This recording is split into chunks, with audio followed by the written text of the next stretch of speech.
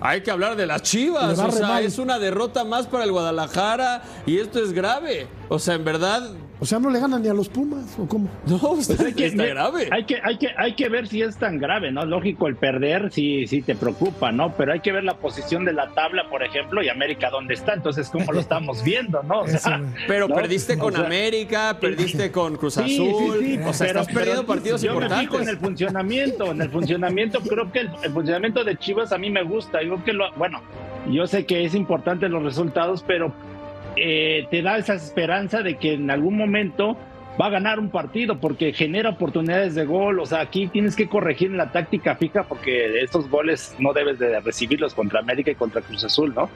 Pero en realidad ha, estado jugando bien Chivas. no está jugando mal. Estoy de acuerdo contigo, Claudio. Pero no le puede ganar a los equipos grandes. No, le puede ganar. Totalmente de acuerdo. No, le cuesta. Hay que Hoy jugó mejor que contra León, sí se las doy, pero porque reaccionó después del gol. Hoy jugó bien. Sí, hoy jugó. No, pero termina perdiendo el partido. Es que no tiene un mal equipo, muchachos. No tiene un mal equipo.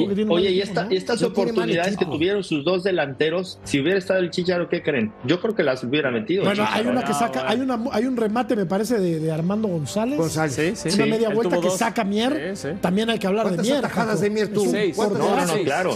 Gran arquero. La primera no, y la de Bozo. que sí llega. Me parece que va a ser complicado. que sí construye. Hoy fue un buen partido de Guadalajara evoluciona. También del gol. Pero el tema es que no mete la pelota dentro del arco, digo Más, estos dos equipos van a estar peleando hasta el final. Cruz Azul va a llegar. Un buen partido. Así. ¿eh? Pero buen partido, fútbol mexicano le sirve. Y Guadalajara, claro que le sirve, por supuesto que le sirve. Guadalajara está en la quinta posición, o sea, no se movió. Eh, ahí se quedó. Pero bueno, Cruz Azul sigue siendo líder. Monterrey lo de Monterrey, mamita. Yo creo que va a perder en segundo lugar. ¿eh? Lo vamos a hablar más adelante. Aquí estamos viendo la tabla, cómo va. Eh, Pumas juega este domingo, eh, tiene 13 puntos, llegaría a 10 en caso de ganar su partido.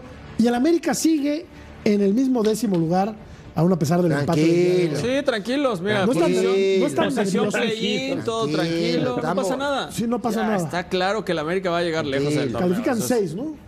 Y otros cuatro. Sí, por eso el play-in, o sea, está en posición play-in, sí. Ahí eso como americanista, ¿cómo te No, no está bien, pero pues, estoy muy bien porque somos bicampeones. O sea, ¿sabes? Ese, argumento. no, ese argumento es espectacular. no, el argumento No, no, no, tampoco, tampoco. Es espectacular. El argumento sigue. Claro, y seguirá. Claro, y va a seguir hasta que venga otro campeón. Exacto. Que puede ser. De que, de que, va a calificar, va a calificar. Si califica la mitad de los equipos. Imagínate cuántos, cuántos torneos no calificó Chivas. Califica hasta el tapatío, hombre. Imagínense. ¿Y el Atlante? También, todos, califican todos aquí. Oye, Claudio, Claudio, ¿has visto mejoría? ¿Has visto mejoría en Guadalajara? Sí, le gusta. Sí, o sea, yo, bueno, lo único ahora sí que es mejorar en la, táctica fija, o sea, el defender bien y el tema de la contundencia. Yo creo que esos son los, los puntos flacos de, Chivas, pero en, general, si tú ves el funcionamiento del equipo, lo ha hecho muy bien. O sea, o sea, te genera, insisto, muchas oportunidades, un equipo dinámico, que no se tira para atrás, que va a proponer siempre, ¿no? igual a lo mejor muchos dicen, ¿sabes qué? No tienes equipo para competir, tírate para atrás y juega al contragolpe, pero no, bueno, yo creo que Chivas no está para jugar de esa manera. Lo mejor de la Serie A, el último campeón, el Inter Milán, se enfrenta a su eterno rival, los Rossoneri's. El 2 de septiembre, en vivo por Fox Deportes.